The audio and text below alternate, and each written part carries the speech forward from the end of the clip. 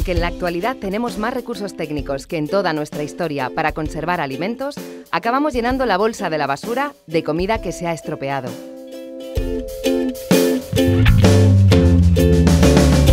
Muchos alimentos indican en sus etiquetas las instrucciones de conservación. Sigue estas recomendaciones para que tus alimentos se conserven más tiempo y en mejores condiciones. Usa envases transparentes para guardar la comida y etiquétalas. Así será más fácil ver qué alimentos tienes almacenados.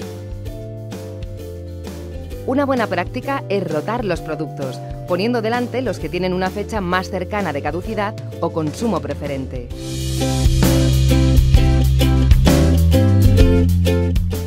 Recuerda que la temperatura ideal de la nevera debe oscilar entre los 0 y los 5 grados y en torno a menos 18 grados para el congelador. Algunos alimentos necesitan más frío que otros y eso dentro de la nevera tiene que ver con el lugar en el que los pongas.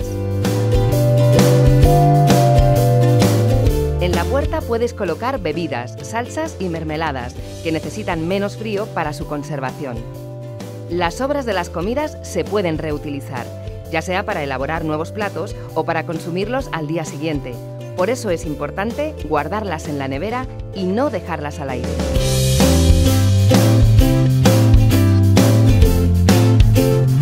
A la hora de recalentar un plato, calcula bien lo que vayas a consumir. Si los alimentos se enfrían y calientan varias veces, pueden aparecer bacterias dañinas para nuestra salud. Si has cocinado más de lo que vas a consumir, congela el resto para otra ocasión.